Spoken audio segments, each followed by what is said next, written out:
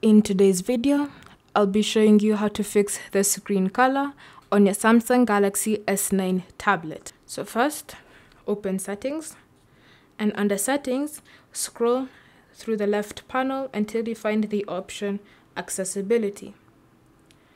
Then select visibility enhancements and go to color correction. So tap on that and you'll notice it is enabled.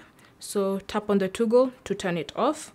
And if the screen is still like this, go back to visibility enhancements and select color filter.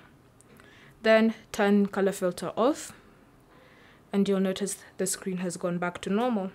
If the screen is still bothering you, swipe down to access notifications and then swipe down again to access the quick settings panel.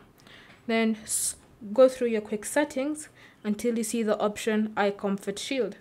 Make sure it's turned off and your device screen will be back to normal.